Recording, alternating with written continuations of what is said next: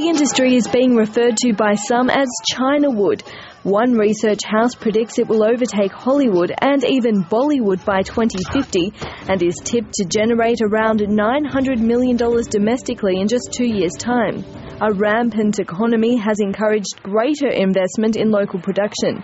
Even the country's communist government is recognizing the industry as a money spinner. The Chinese government purposely try to promote their cultural product, just like South Korea. You know, you can make money by uh, impo- uh, importing those, uh, exporting those uh, um, cultural products. But despite rising middle class incomes, only a small proportion of the country's population are regular cinema goers. A ticket is quite expensive. Uh, I mean, uh, compared with people's income. Experts say many local productions are still losing money. So, with this in mind, production houses are hoping for offshore ticket sales.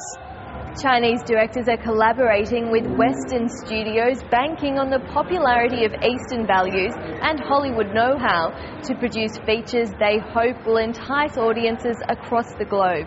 He's got no kung fu.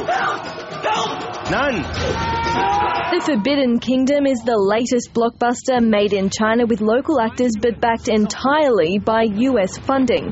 It was shot at the sprawling Hengdian Chinese Film Industrial Park Studios.